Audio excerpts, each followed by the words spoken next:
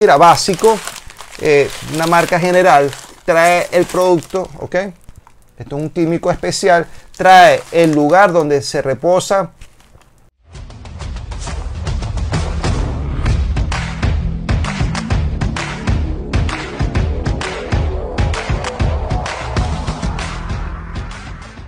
Saludos, ¿qué tal? Nuevamente bienvenido a tu canal Ecoplagas, mucho gusto, mi nombre es Flavios, si eres nuevo en este canal, qué bueno tenerte por acá, si ya eres un acompañante de estos ya 11 mil suscriptores, 11 mil acompañantes, qué bueno tenerte nuevamente por acá. Hoy estoy con mi suéter, mi franela Fundación Ecoplagas Voluntario, este es nuestro uniforme cuando estamos haciendo campañas de responsabilidad social, limpiando playas, sembrando árboles. Así que muy orgulloso de tener este uniforme hoy.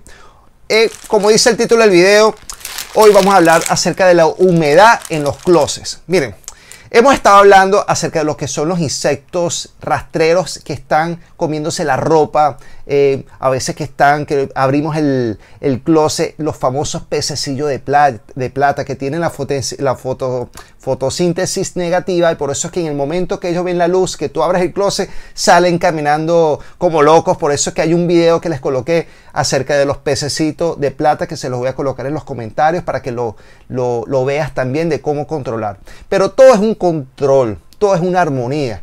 ¿A qué, ¿A qué me refiero? Mire, tienen que haber una limpieza de los closets. Es importante que con regularidad quites el polvo, muevas todo. Porque el triángulo del control de plagas, ¿qué es?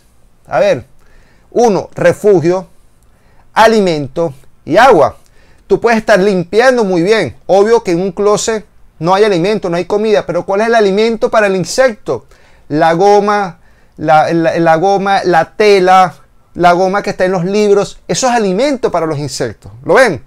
Ahora, una vez que controlas el refugio, que estás moviendo siempre, quita las cajas, ok, ya no hay refugio, ya no el alimento que es la goma, como estamos hablando, estás moviendo la ropa, pero es importantísimo romper, romper ese medio ambiente que le da al insecto reproducirse. Ahí es donde entra el control de humedad, que le voy a hacer este video, este open box, este abrir esta, esta, este producto. Hay múltiples marcas, tú en cualquier supermercado puedes comprar muchísimas marcas que controlan la humedad y el olor en el closet. Yo, por ejemplo, particularmente, este es un producto, mira, básico, eh, una marca general trae el producto, ¿ok? Esto es un químico especial, trae el lugar donde se reposa la humedad, ¿ok? Como puedes llamar el agua, como, lo, como se puede llamar, y el soporte, ¿ok? Este lo armas, ¿ok?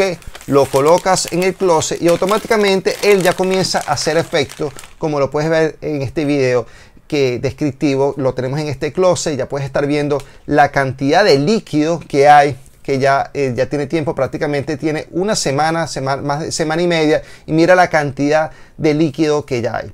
Así que es importantísimo, señoras y señores, que no solamente el control de plagas, o sea, nosotros como empresa de control de plagas vamos a controlarte la plaga en tu closet, la plaga en tu hogar, pero es un trabajo en equipo. Tú también en casa tienes que colocar este tipo de productos para eliminar el olor, eliminar la humedad y también hacer una limpieza, mover todos los, productos, las cosas que tengas en los closets, colocarlo en envases plásticos, eliminar totalmente cajas de cartón, porque la celulosa, eso es un alimento, miren, eh, una delicia para cualquier insecto rastrero, así que tienes que eliminar todo lo que son las cajas de cartón.